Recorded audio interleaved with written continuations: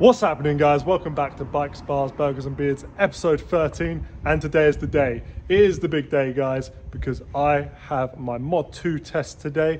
So in the UK that is the test that allows you, if you pass, allows you to ride any size motorcycle, carry a passenger on the back, take off the L plates. It's the big boy license. So I have that today. Can't really film anything because one, I'm not allowed to film on the grounds and two, I don't have a helmet cam uh, so the whole test is on the road, so I can't show you any of that.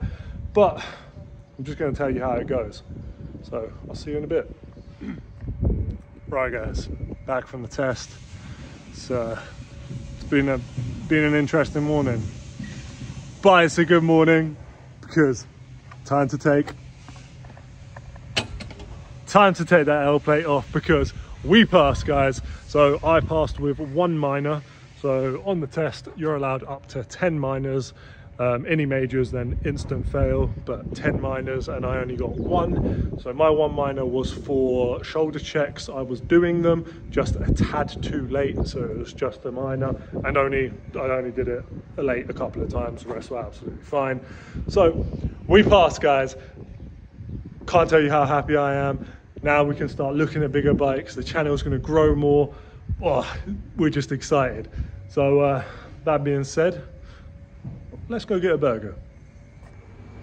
All right, guys, so I know I said I was about to go get a burger. I didn't. That was filmed about a week ago.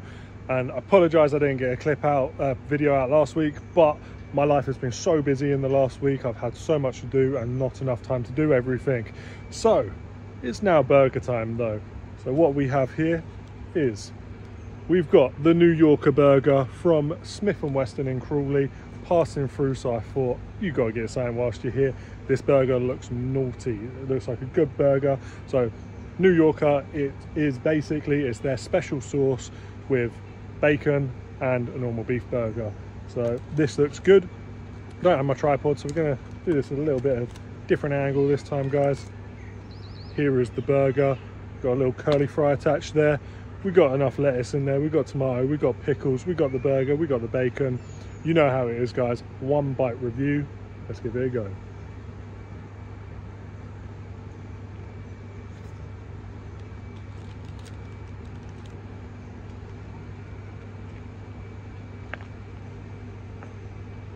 That's a very good burger, guys.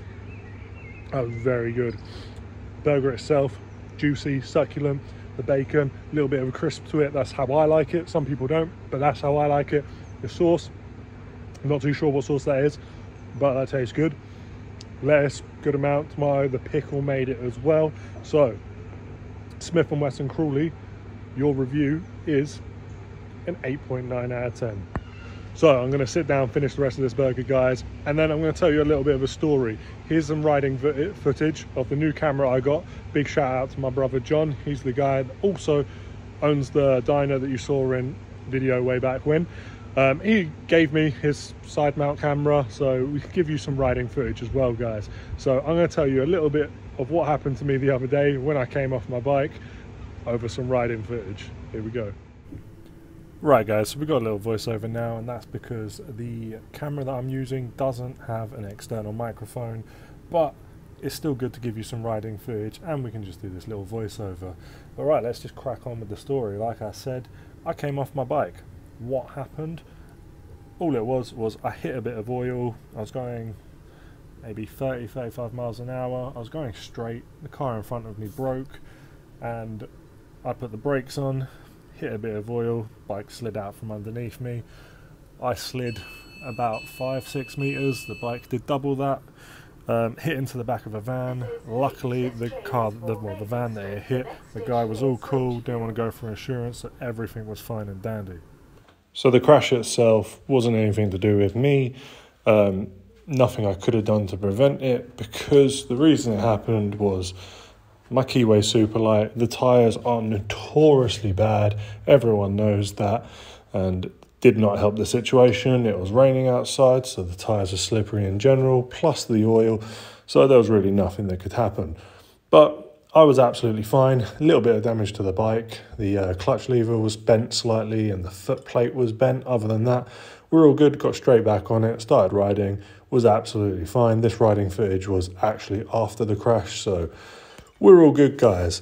But that being said, I can't ride this bike anymore because it's trying to kill me, so it's time to upgrade, I think. So I crashed my bike, we got the full license, we got a burger, you've seen it all in this video, guys. But stay tuned because in the next video, we're gonna go get a new bike. So very, thank you very much for watching. Don't forget to like, share and subscribe. We'll see you in the next one.